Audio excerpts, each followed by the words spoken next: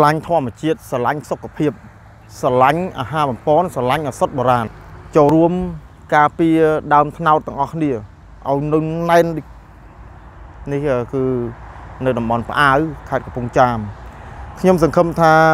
បងប្អូននឹងធ្វើការសិក្សាស្រាវជ្រាវស្វែងយល់ពីអាហារបំពន់ឱសថបុរាណពិសេសអាហារបំពន់ប្រើក៏បានមិនប្រើក៏បានតែឱសថបុរាណมันអាចអត់ប្រើបានទេបើមិនបានប្រើអីក៏បានប្រើ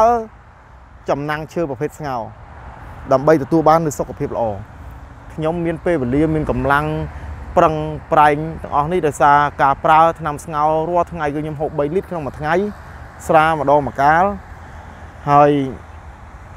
អាហារអំពនខ្ញុំប្រើ Spirulina Lutein Rice Brand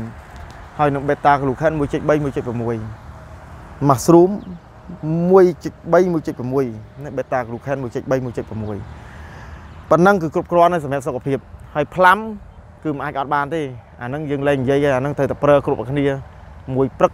មួយល្ងាចក៏បានពីរកញ្ចប់នៅក្រោយបាយល្ងាចក៏បានស្រេចចិត្តអញ្ចឹងតែប៉ុណ្្នឹងគឺមានន័យថាយើងបាន maintenance គ្រប់គ្រាន់សម្រាប់សុខភាពសូមអរគុណ